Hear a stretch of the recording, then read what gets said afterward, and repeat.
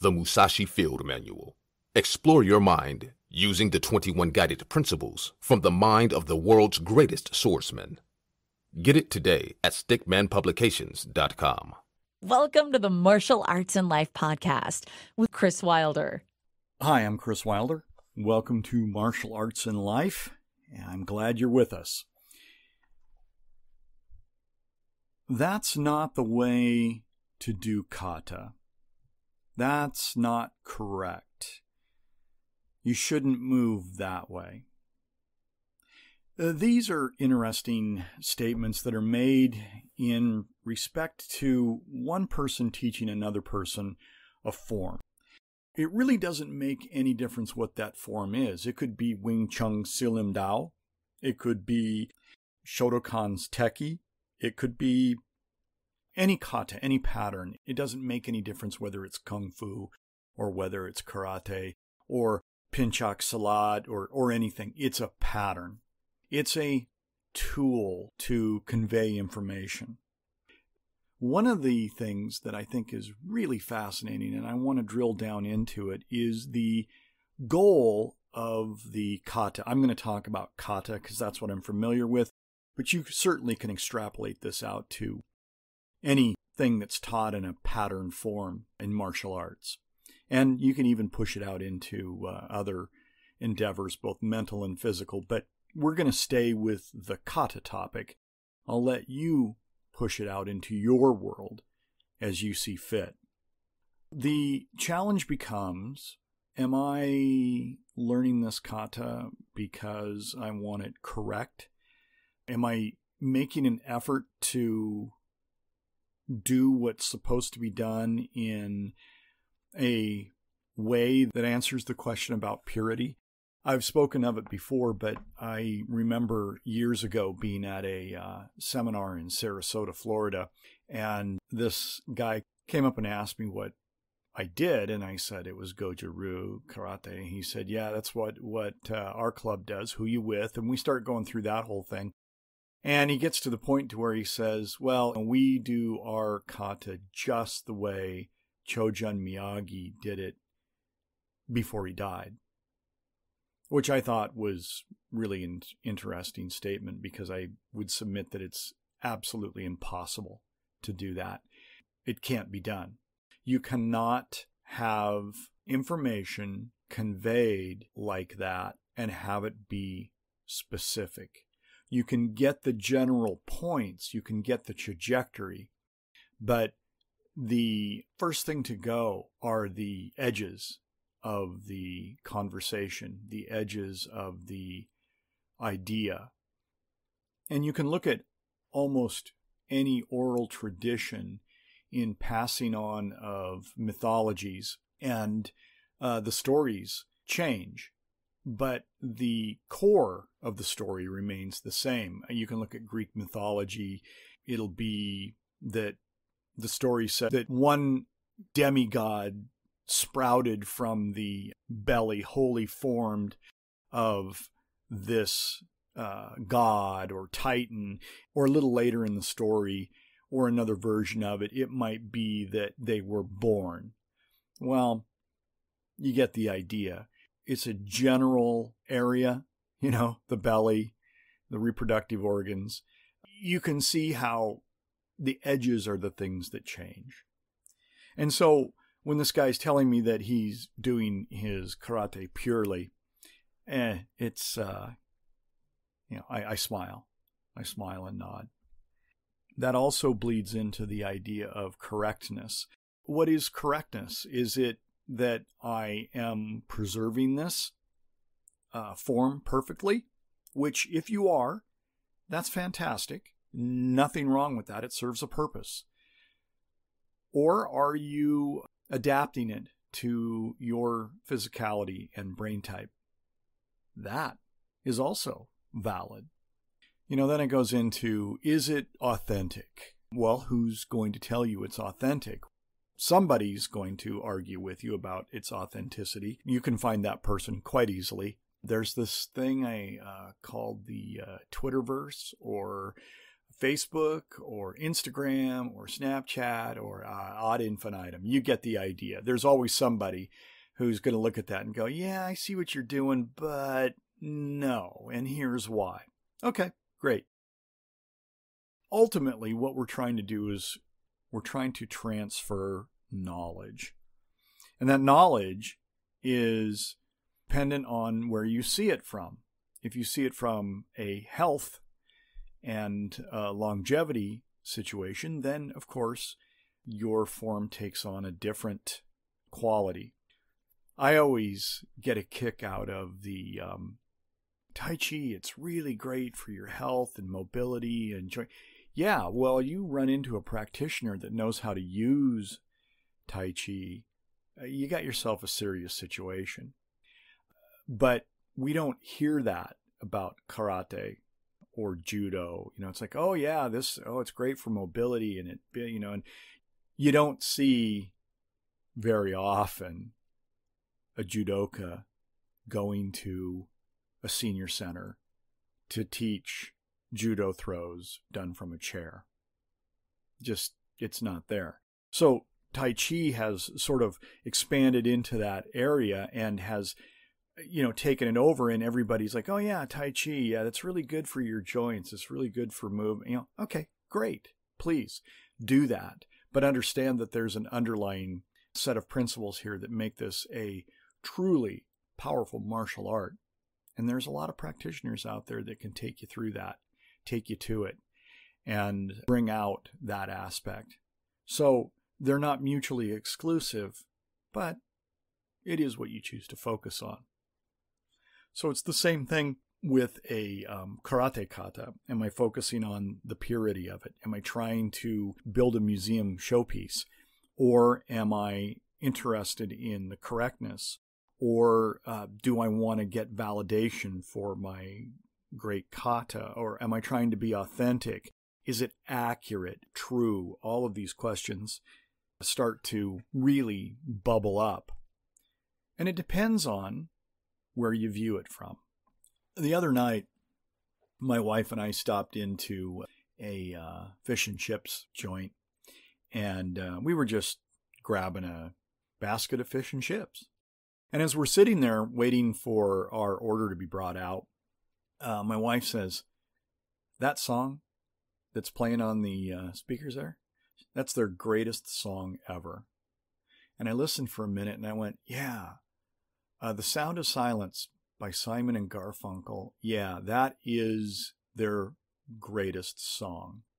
You know, there's other songs that they have, but man, the the words are just just beautiful poetry and they really elicit a response.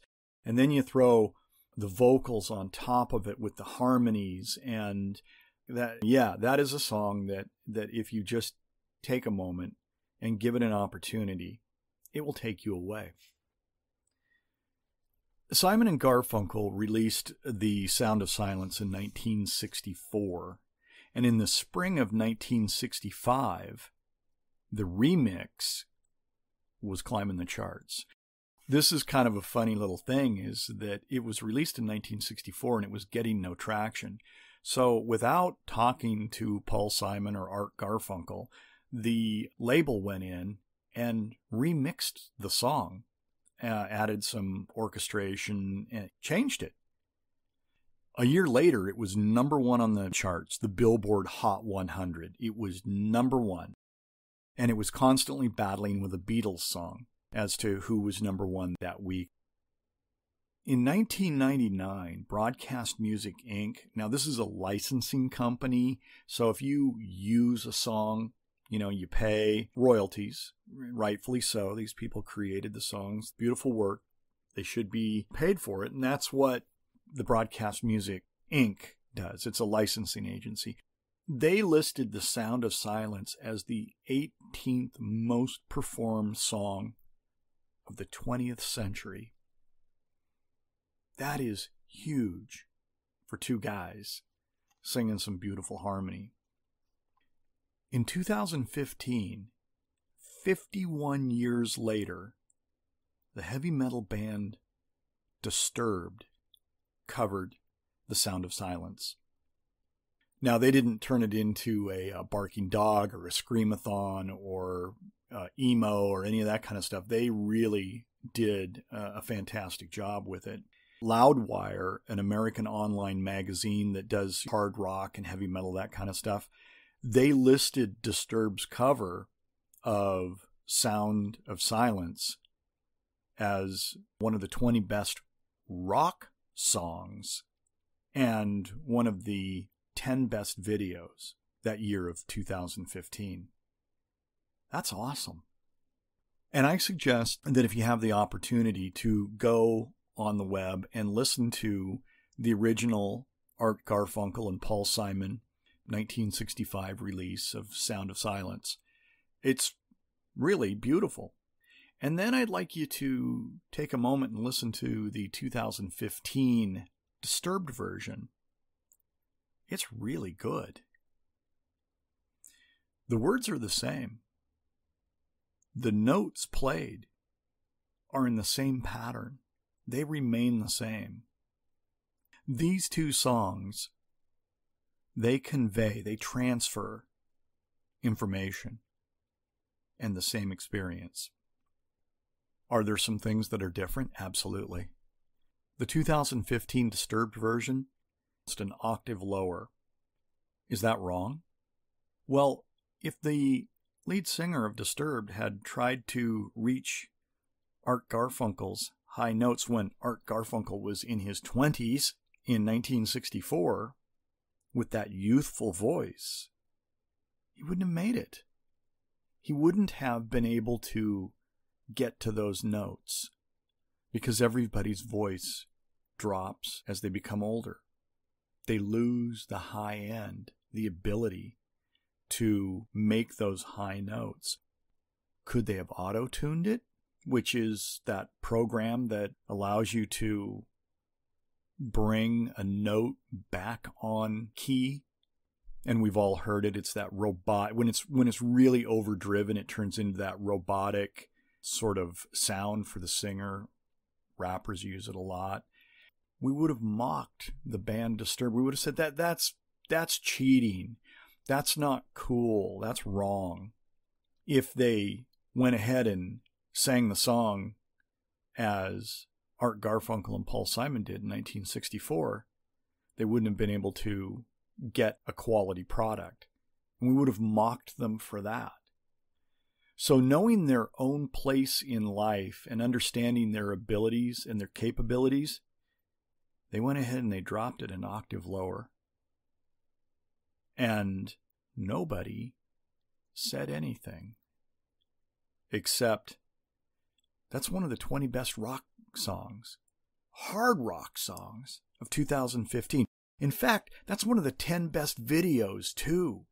The songs are similar but they're different. They convey the same information, they do it in the same pattern, but it has a different quality. And that's what kata is. I've spoken about it before, and I am really not a fan of the one inch sensei. Here's the one inch sensei. You're doing your punches or whatever it might be, but let's just say it's punches. And Sensei comes walking along and takes your hand and lifts it up one inch and goes, That's where the punch belongs. Well, I'm punching arbitrarily into the air. Is it possible that my imagination had set my imaginary opponent to be a little taller than me or a little shorter? Is it possible that I was training something else? Is it possible that my focus was in a different place? But no, I'm one inch off. I need to move that. Not a fan of that because that's missing the big point. Is that punch strong? Is the structure correct? Is the intensity? Is the speed? These things are what are important. So if we go back to these two songs, or this one song, with its two versions. If Disturbed had tried to do what Simon and Garfunkel did in 1964, they would have failed.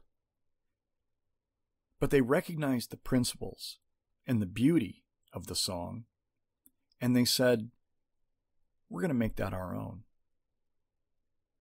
That's the way I believe kata should be done.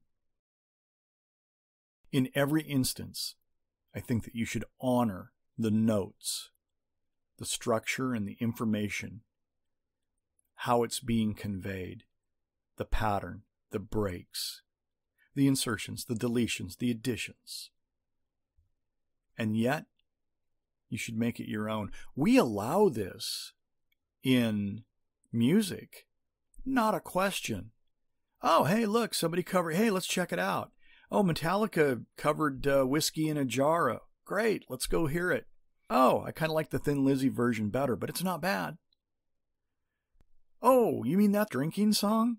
Yeah, it's a great little song. And it gets pushed forward in different versions and in different ways. Kata should be the same. Adhere to the principles and the rules. Don't break those. But understand that you may be in a different place in life, your physicality may be different, and you need to express your art in a different manner. Possibly 25 years ago, maybe even longer, I was at a uh, international martial arts tournament. There were people from all over uh, who'd flown in, I mean, from Europe and Asia. And so we're watching this kata competition. And uh, this woman got out there. I don't remember exactly where she was from. She might have been from Japan. She might have been from Korea. I, I don't recall exactly. But her kata was absolutely stunning. And everybody applauded. And I turned to him and I said, That's the way I want to be able to do kata. I was excited. It was like, I'm inspired by her. I want to do kata like that. And he said, You can't. Oh, wait, what do you mean I can't? I think I can do pretty much anything if I set my body to it. And he goes, No, you can't. That's a 115 pound, 19 uh, year old Asian woman, and you're absolutely the opposite of that. Your karate looks different. Wow, yeah, you're right. Doesn't mean it can't be good. Doesn't mean that it can't be Disturbed's version of the sound of silence. And it doesn't mean that it's anything other than a really good expression of some really good ideas and information that stood the test of time. So, as you sort this, I want you to recall the story of these two songs. I want you to think about other songs that you have heard covers of and realize that in some instances, the covers have actually been more popular than the original. The book, The Way of Kata, dive deeper into your art. Own it today at Amazon.com. And now it's time for a little section called We're All in This Together. Just a little bit of housekeeping before we get into this section. I'm going to use the term my student, and I'm only using that to replace the person's name because this is really kind of a private matter. But the story is so profound, so moving that you need to hear it. So, although I'm using the term my student, it in no way makes this experience subservient or that I had any part to do with it, other than it's been related to me. Maybe it's a little awkward, but I think it's the best way to solve the situation and to make sure that you get the value of this story and get a chance to hear it and enjoy it. So, with that, let's get started. You ever had a brush with a celebrity and, you know, they can turn out good, they can turn out bad. People say don't ever meet your heroes, don't want to meet celebrities. And the fact of the matter is, is that celebrities are just like anybody else. They can be good folks, they can be bad folks. Talent doesn't necessarily equate to um, moral gravity or to how they hold themselves in the community. People can be bad and snotty and rude, or they can be gracious and wonderful. And celebrity or a position of power is no guarantee of either. I've got a student of mine that had a brush with celebrity. At least I say celebrity because I watched this guy referee boxing and was really impressed by him. His name is Mills Lane. And Mills Lane grew up in Georgia, moved to uh, Reno, uh, Nevada, of course, which, you know, when you think about boxing, that's, that's, uh, kind of where you'd go. After a little stint in the Marines, that's where he wound up. He was a boxer, but he also became the chief deputy sheriff in Washoe County in Nevada in 1979, and then became a um, district attorney and subsequently a district judge in 1990. And this is where a student of mine and Mills Lane cross. Mills Lane, the boxing referee, uh, the television career, you know, his court show, um, this is where they cross. My student had a really rough childhood. We've talked about it. I mean, will willingly he's given up some information. I mean, he's he's healthy and fine now, but man, the stories of neglect and verbal, mental, and physical abuse, um, the reform schools that he was in through no fault of his own, you know, wound up in those because he was not wanted during the summers and things were concocted and he fell into traps. And you just, you know, it is a hot, steaming pile of causality and just, you, know what I'm talking about. Well, he wound up in court in Washoe County, Nevada, in his early teens. And the judge, who happened to be Mills Lane, who I just described to you, said, You know what?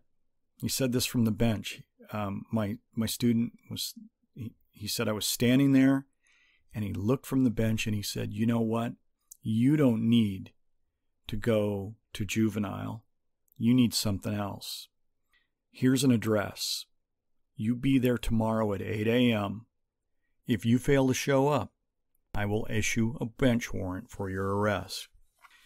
Well, my student shows up at 8 a.m at this nondescript building. And uh, he said, Mills Lane comes walking up, keys the door, and he said, The next thing I know is I am in a boxing gym. And for the next couple years, that's what he did. He came and boxed and was taught by Mills Lane.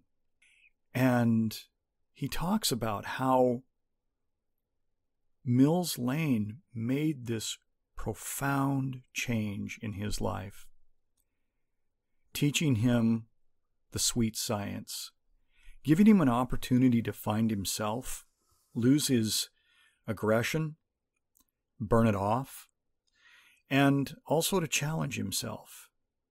Powerful ingredients to building a good man. So Mills Lane, when he had the opportunity and he saw a spark, was able to say, This is what you're going to do now. You have a choice. And my student stepped into that choice.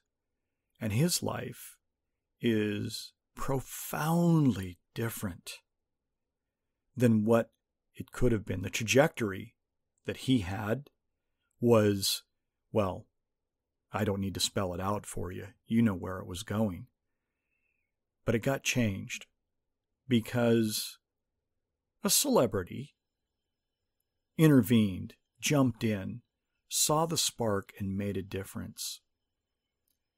That's a powerful, powerful legacy that uh, Mills Lane is leaving.